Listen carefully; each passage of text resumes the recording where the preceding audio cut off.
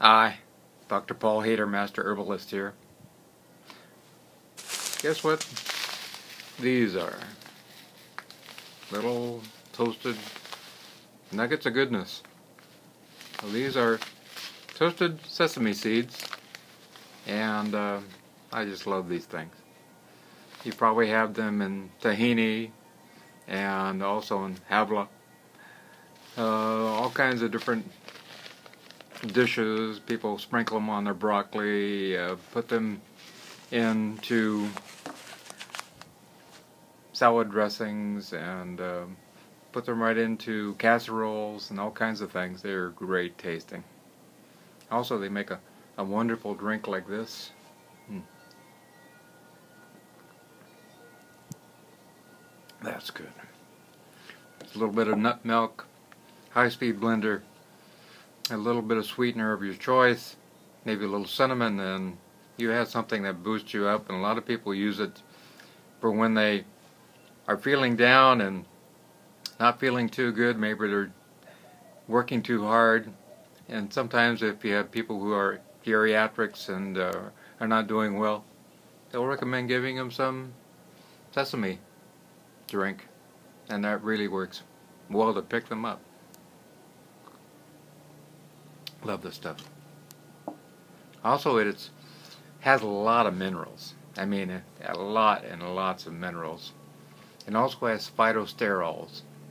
And that means it has these fibers that help to prevent cancer and help to lower cholesterol, lower your LDL cholesterol, boost up your HDL, HDL cholesterol.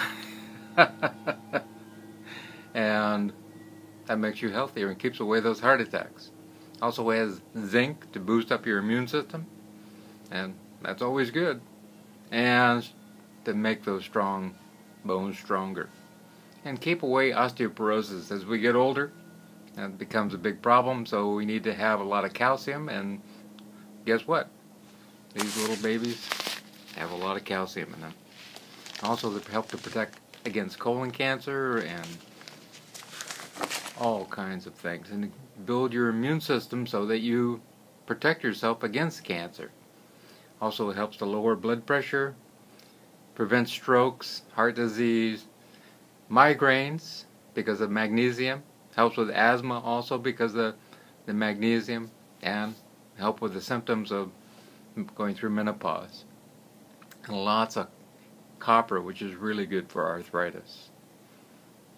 These are little wonders of goodness. If you haven't tried them, the oil also is really great for the skin. Sesame oil, I mean, just put raw sesame oil on your skin before you get in the shower and then shower off the excess and that'll keep your skin looking great. There's no doubt about it. It's one of the wonders that you can do for yourself and really feel good about your day. Try a little bit of this drink.